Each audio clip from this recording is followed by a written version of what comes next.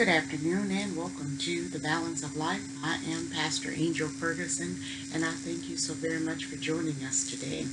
Truly, this is the day that the Lord has made. We will rejoice and be glad in it.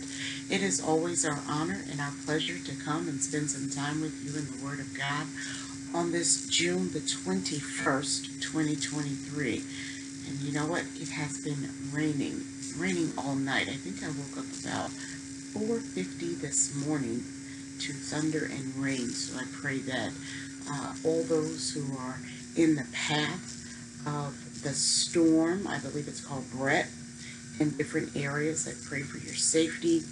Use wise counsel and uh, be safe out there. We're praying for each and every one of you. I want to kick off today. Want to ask a very, very important question. Who is feeding you? Where are you being fed from? And I'm thinking about this foundationally from the Word of God. Where are we being fed? Who is feeding you? Where do we go to receive what we need? And when I say what we need, I'm talking about positive encouragement. Sometimes it is met with some constructive criticism. So there is a balance. I'm not talking about dealing with anyone who is tearing down your self esteem with that type of motive. I'm talking about who is feeding you and where where are we going to eat I do believe in encouraging yourself.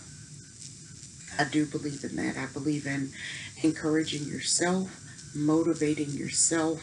Do not wait for anyone to come along to encourage you. Do not wait for anyone to come along and motivate you. If you are not satisfied with your current circumstances, you have to make some changes. It is not for anyone else to come along and make the changes for you. So search your life. Look over your life. Look over your your current situation and decide which areas you want to improve in. Pray. Prayer is so important because we might think we are headed in the right decision or that we are in a situation it might appear to be good, but that's not the best that God has for you. And once again, if you look around your life, if you look around the room, and you are not satisfied with what you see in the room, in the room of your life, if you are not satisfied, it is up to you to make some changes. Now, I am big on encouraging yourself, motivating yourself. I am also not a fan of constant complaints not a fan of constant complaints at all because constant complaints tells me that the individual who is complaining is not ready for change. You are satisfied with complaining. So, for myself personally, if I keep complaining about a thing, I can either make a positive step towards to change what I'm complaining about, or if I do nothing, I am satisfied with where I am. We can't have both. We cannot complain and yet say, but I'm okay. No. If you are not happy, if you are not satisfied, if you are interested in uh, obtaining more in your life, if you are interested in growing in your relationship with Christ, do something about it. Spend more time in the Word of God, growing in your faith, growing in your obedience. Increase your prayer life, time in the presence of the Lord. Read, read the Word of God. Allow the Holy Spirit to direct you on material to read that will help grow you in your knowledge in Christ. But it comes from a desire. And sometimes, in the midst of life, this desire will come that you want more. Examine that thought, where it's coming from, and do something about it. I just want to know where we're being fed from. Who's feeding us? I'm reminded by the prophet Elijah. And when he ran for his life from Jezebel, because Elijah had done what he was instructed to do, he killed the prophets of Baal, which were false prophets. And Jezebel was now after his life. And he was instructed to rest. He was awakened and told to eat and to drink. He was being fed from on high. Today's terms is he went on a sabbatical. He took some time off. Uh, last week we did a segment called Pause Break. But in that pause break, he was being fed spiritually. We have to be fed spiritually.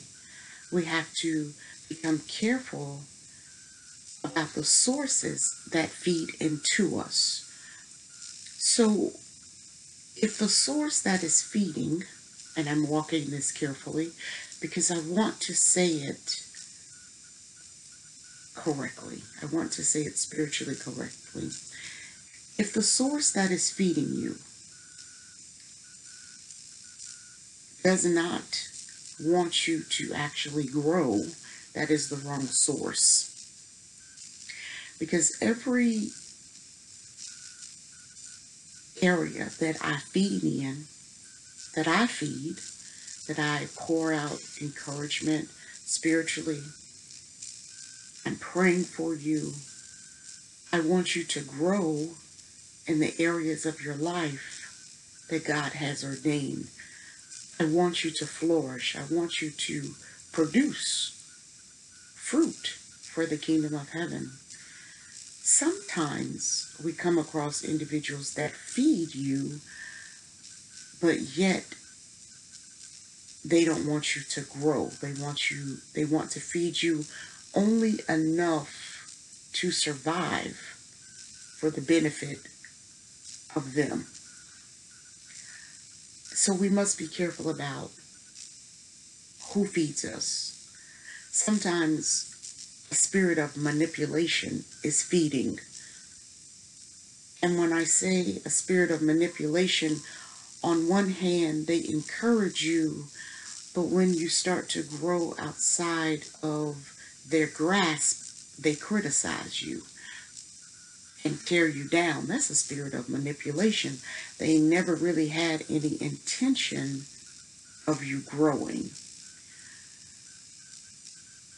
Sometimes individuals could feed you, but their motive is really to cripple you so that you are dependent and handicapped, uh, that you, uh, you have to come to them only.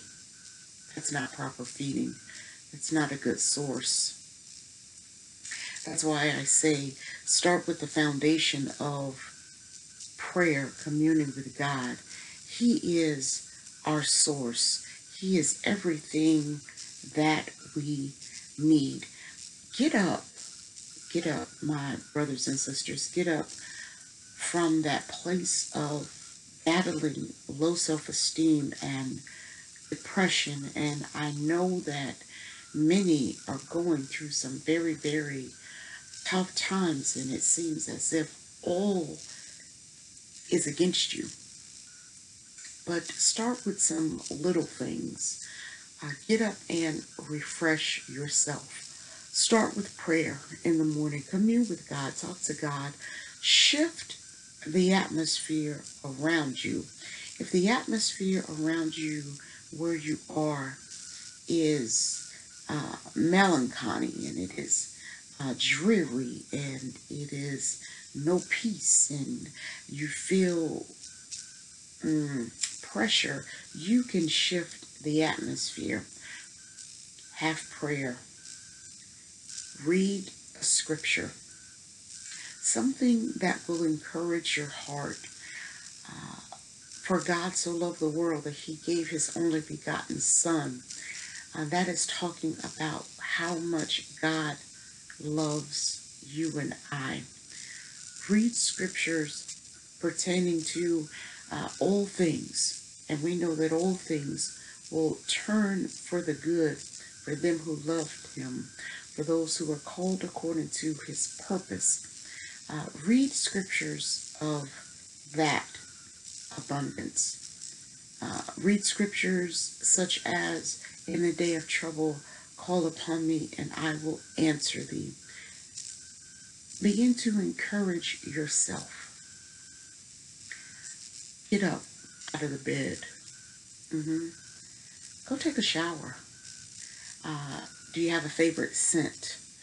Um, lather yourself, pamper yourself.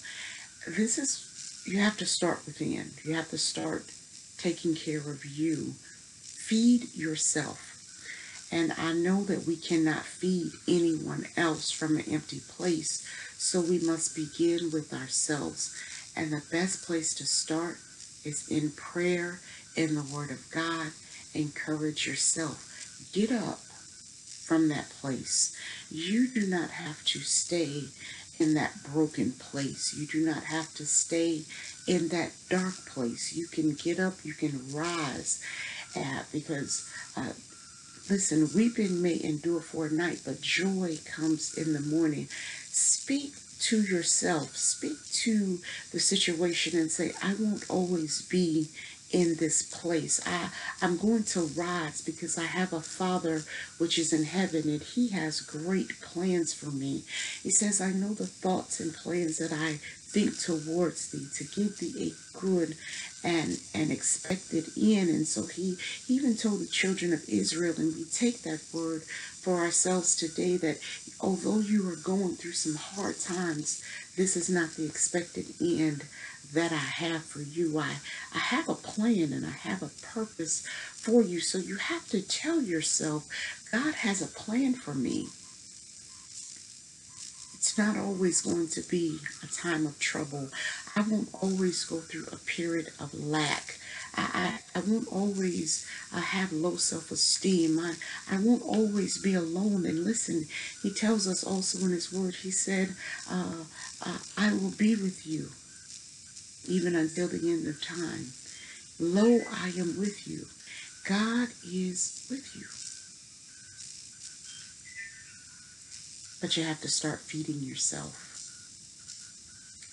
You have to get up and encourage yourself. Get up from there. Don't lay there and, and slumber and be dreary. Get up. Get out of the bed. Literally make the bed up.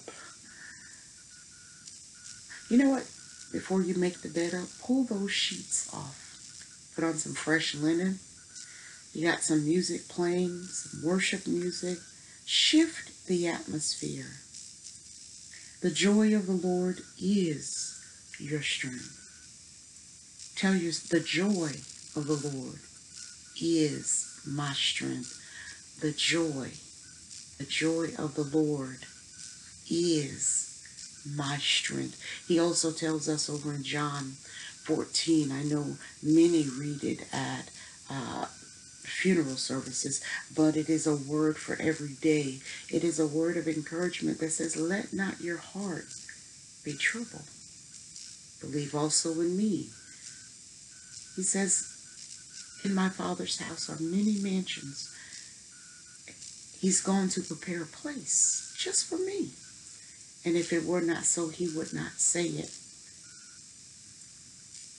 So encourage yourself. So get up. I hear the Holy Spirit say, Get up. Get up from there and take the sheets off the bed and put on some fresh linen. And you got the Word of God playing through song and instrument. Take yourself a shower. Somebody listening to this today or maybe even down the line and they might think that oh that's common i do that every day but somebody is going through something so detrimental. The, the enemy has weighed them down with such a spirit of depression and low self-esteem that it's hard for them to even rise and get out of the bed. You have no idea that there are some people that actually sit in darkness because the enemy has tricked them to believe that that is where they belong. But I came by to tell you that God has great plans for you. He has something in store for you, that He loves you, and He has a great and expected end for you. And, and listen, joy this joy, this joy that He has for you, no one can take it away. The love of Christ that He has for you, nobody can take it away. Nobody can take God's love from you. So even if people come and they take back their love, they take back their friendship, they take back their relationship. They take back their word. What God has spoken concerning you, no one can take it away. In fact, He will never take His word away from you. He is a God. He changes not. His love does not change. He doesn't like the sin that we do, but He loves us. And that will never ever change. If you're just tuning in, you're tuning into the balance of life. I am Pastor Angel Ferguson, and I thank you so very much for joining us today. My word that we want to share with you all on today is just a question Who is feeding you? Who's feeding you? Look at your connections. Where is your encouragement coming from?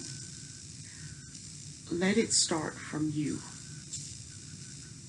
Do not wait for anyone to come along to encourage you because they might get busy. They might not get a chance to text you. It could be their intention, but they don't actually do it. And then you are waiting around. And that's what the enemy wants you to think. The enemy wants you to feel isolated he wants to tell you that nobody loves you, that no one cares, that you are all alone. But you're not all alone. You have a Father which is in heaven. You have Jesus Christ, his only begotten Son, as your Savior, your Messiah. You have the gift of the Holy Spirit to lead and guide you, to help you you are not alone. So as you are getting up, refresh yourself, comb your hair. Yep. Moisturize your skin. Pick yourself up. Begin to live again. Revive what has been lost. Revive what the enemy tried to take away. Revive what the enemy tried to kill.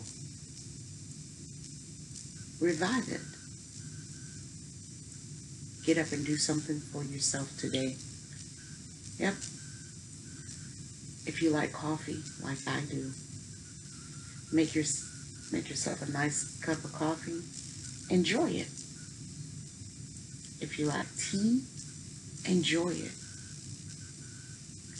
But get up.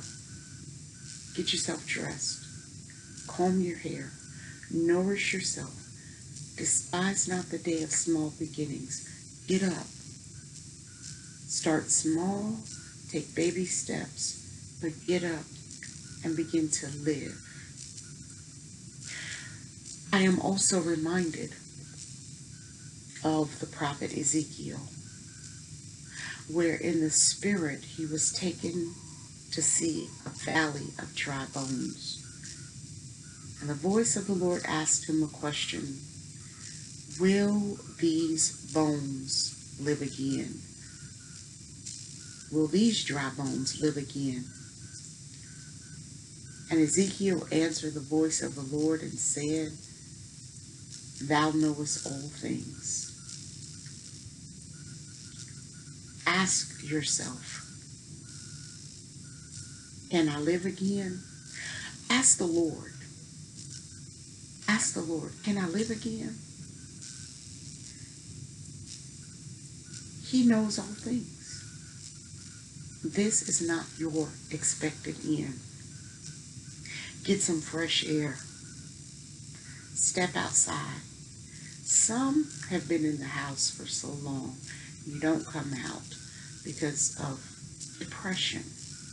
But we are praying today against the spirit of depression. I pray that your mind is being renewed.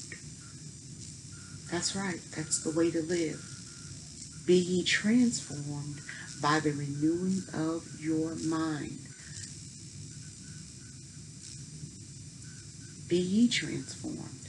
That's over in Romans, the 12th chapter, second verse. Be ye transformed by the renewing of your mind. And yesterday, we shared Second Corinthians, the 10th chapter. Though we walk in the flesh, we do not war after the flesh. So every time a negative thought hits your mind, every time the enemy says, uh, you can't do it, you're not worth it, nobody loves you, cast that thought down. He is a lie. You are worth it. You are worth it. Christ gave his life for you because you are worth it. The shedding of his blood was all for you. You are worth it. The sacrifice that God made is because you, you're worth it. And the good work that He started in you, He is faithful to complete it. He is going to be with you until He is finished. Get up and encourage yourself. Mm-hmm. Begin to speak positive to yourself. So we have graduated. We're thinking good thoughts. Now I want you to start speaking positive to yourself. Mm-hmm. This is long before you interact with anybody else. Speak positive to yourself. I am love. I am the apple God's eye. I am above and not beneath. I am blessed and not cursed. The work of my hands are blessed. I have spiritual gifts and talents from my Father. I am a gift to the kingdom of heaven. I am not worthless. I was not a mistake. Speak good to you. You know, a plant will die if it is not properly nourished,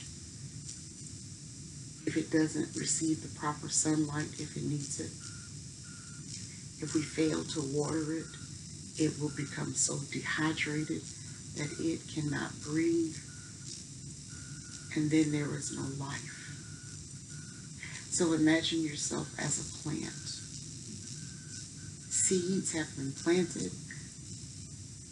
The seed of life has already been planted in you. But each plant must get what they need. Now, the plant has some abilities to survive on its own, but it relies on a source to come and provide it with some water. Now, if the plants are outside, and sometimes all depends on the type of plant, when it rains, people will put the plants outside to get some of the rain from heaven. It's the same way with your life. Get into the rain from heaven, which is your time in prayer, your time in the Word, growing in your faith, allowing the Holy Spirit to bring back to your remembrance what has already been spoken. And you will begin to see a transformation in your life. And listen, this is a day by day process. It is. What I am learning is this we see what people want us to see. So when we see individuals on the television, hear them on the radio, as with myself, we see the good pictures with a smile has been presented for that moment. But nobody really knows what goes on behind closed doors. Nobody. We all have to start from a place and encourage ourselves. Nobody is exempt. And we feed ourselves so that when we are presented, we're full. We do what it takes spiritually. I want us to do what it takes spiritually in a good, healthy way. So, oftentimes I have said here that I ask the Holy Spirit how to take care of me. I am His vessel. I am the vessel of God, and I want to know how I am supposed to take care of His vessel. Not my way, but His way. Mm-hmm. Show me how to feed this vessel. Show me how to nourish and take care of this vessel. When the enemy comes in like a flood, he lifts up a standard. When thoughts of doubt and low self esteem try to creep in because they do, the Holy Spirit comes in and reminds me of God's word. He, he comes in, He quickens me to get up from that place and don't allow that spirit, the dust of that spirit, to fall on me. Don't settle in the dust. Get up from that place. Move. Get up. Shake yourself. Shift the atmosphere. We're going to share more tomorrow because there is more for us to share. Who is feeding you? Where are you receiving words of encouragement? Start with yourself. The Holy Spirit is going to lead and guide you. Ask Him. I believe He'll do it. Listen, that's coming uh, to a close for today. We're about to close out for today, but I just wanted to say that I love you without measure simply because I believe in the potential of each and every one of you. I'll see you tomorrow. Lord's willing. Have a blessed day.